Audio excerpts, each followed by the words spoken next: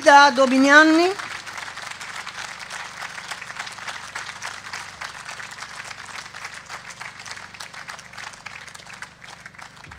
Ragazzi, abbiamo poco tempo ancora, ma io penso che ce lo utilizziamo tutto, se avete pazienza.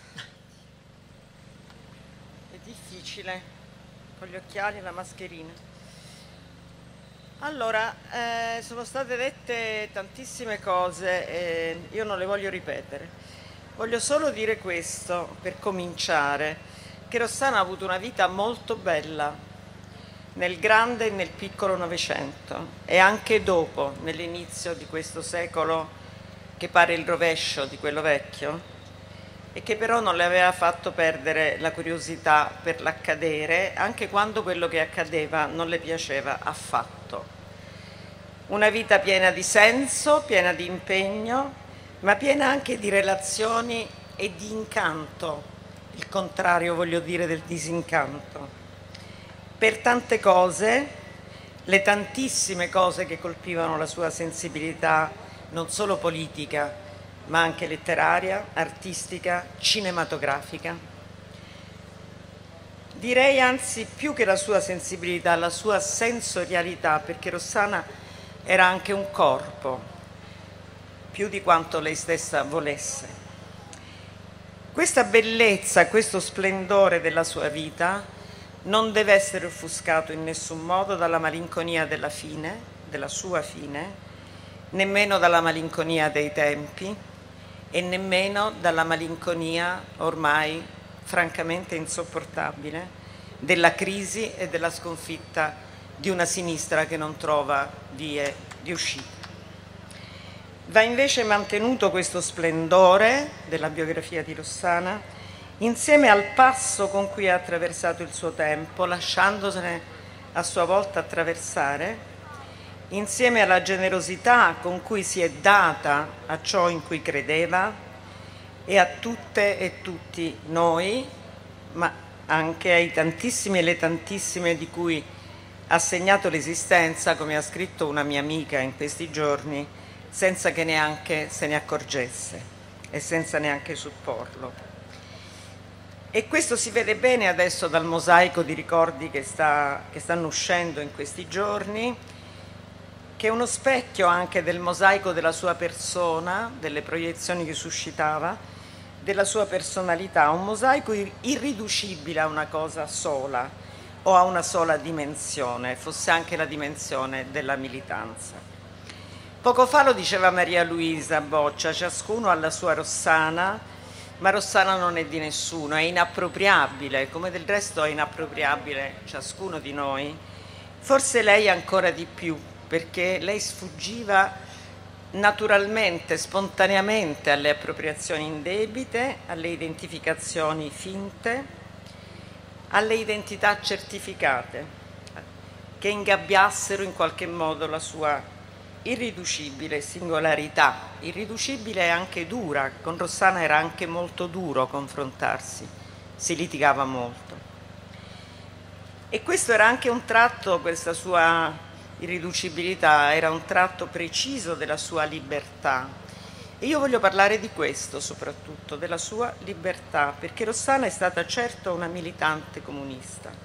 Niente della sua vita sarebbe comprensibile al di fuori dell'orizzonte del comunismo, come lo chiamava il qui già citato Cesare Luporini, e come lo chiama anche una giovane studiosa americana che non sapeva niente di Cesare Luporini, ma ha ritirato fuori questa espressione.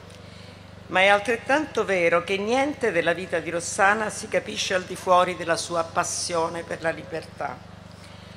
Niente è comprensibile al di fuori del tentativo di coniugare questo binomio comunismo e libertà che la storia del Novecento, ma soprattutto l'ideologia neoliberale di fine Novecento ha divaricato. Io penso che questo binomio abbia contrassegnato la biografia di Rossana. Quando lei non ha potuto praticarlo nella forma partito, lo ha trasferito sulla forma giornale lì ha trovato una forma di espressione più eh, più facile, più fluida. perché di questo sono certa, certissima, questo voleva dire la testatina quotidiano comunista secondo Rossana, voleva dire il contrario dell'ideologia, il contrario del conformismo, il contrario del minoritarismo.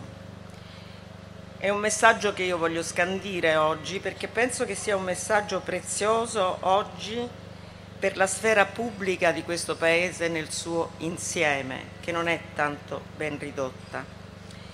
Certo, qui si è giustamente parlato della vita di Rossana a partire dai suoi momenti più eroici, la resistenza, il PC, la radiazione dal PC, la fondazione del gruppo prima e del giornale dopo del manifesto.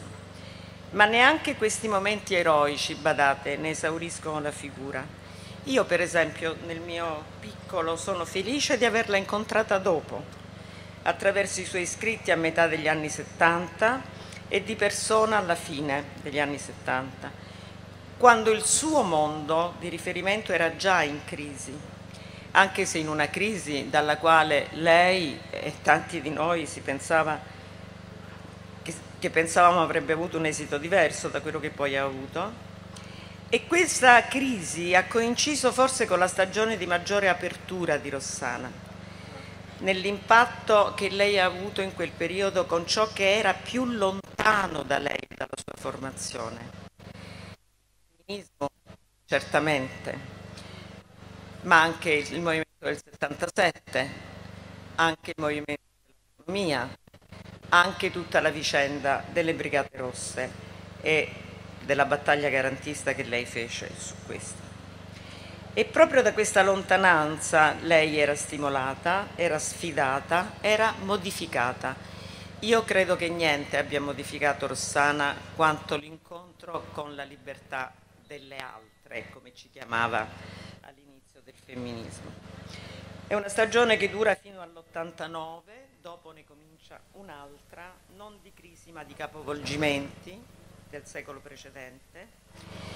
Comincia una stagione in cui il comunismo viene archiviato e la libertà diventa slogan neoliberale che non c'entra niente né con Rossana né con noi. L'epoca era cambiata, più tardi sarebbe cambiato anche il giornale, in un modo che lei non vi si riconoscesse più e non solo lei, ma proprio perché l'epoca è cambiata il messaggio di Rossana si è fatto più centrale, direi perfino oggi.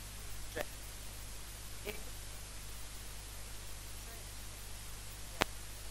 enorme che ha avuto tra i principale, la ragazza del secolo scorso. Lei me lo raccontava sempre con grande stupore che questo libro incontrava soprattutto eh, l'ascolto dei giovani, quei giovani cresciuti appunto dopo l'89 in tempi che, per dirlo con Mark Fisher, un filosofo che ci ha lasciato spontaneamente a 40 anni e che ci manca molto, sono tempi di realismo capitalista, di zero alternative al capitalismo. Quindi a noi spetta il compito di decidere che cosa ereditare di quel messaggio di Rossana. L'eredità la decide sempre chi la riceve e non chi la dà. Naturalmente saremo eredi indegne e indegni, ma eh, con la promessa di far vivere l'immenso patrimonio di scrittura e di una scrittura che respira libertà che lei ci ha lasciato e che ci consentirà di tenercela sempre accanto e dentro come un'impronta che poi altro non è che l'impronta incancellabile del materno a cui bisogna solo dire grazie. Grazie Ida.